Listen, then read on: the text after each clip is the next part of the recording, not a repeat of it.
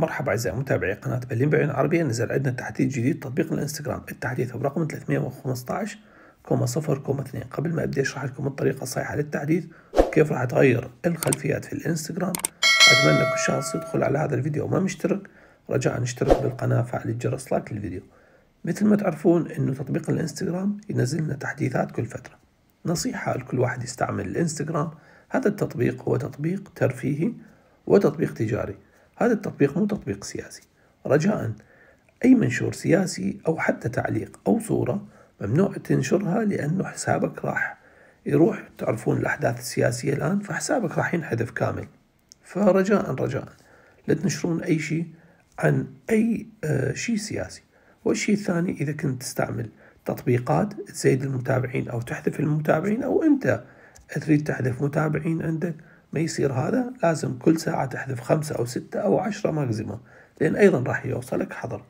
والآن الطريقة الصحيحة للتحديث حتى نحدث الانستغرام بصورة صحيحة في البداية راح ندخل على ال App Store وندخل بالأعلى وننزل الشاشة إلى الأسفل راح تنزل التحديثات النازلة ونزل عندي الإنستغرام. التحديث برقم 315 بعد التحديث راح يصير 315.0.2 قبل ما نحدث راح نروح على الإعدادات. راح ندخل على الإعدادات. ننزل على عام ننزل على تحديث البرنامج تتأكد هذا آخر تحديث بعدها راح يكون عندنا. ننزل على مساحة التخزين هاي المساحة الكلية 128 المستخدم. 89 الفرق لازم يكون بين 20 وال 30 بعدها راح ننزل على الانستغرام. إذا الانستغرام عابر الواحد جيجا نحذفه أما إذا ما عابر نروح نحدث وما في أي مشكلة. الآن بعد ما كملنا الإعدادات راح ندخل على الأبل ستور ونعمل تحديث. الآن كمل التحديث أدخل عليه. هذا حسابي دي ار انتر سلاش كي جي ال. اي دي واحد اثنين ثلاثة خمسة ثلاثة خمسة. وحتى تغير خلفية المحادثات راح ندخل على أي خلفية. المحادثات راح ندخل على أي محادثة. ومثل ما تشاهدون هنا ما تدخل على أول خيار ثاني خيار هنا على الاسم.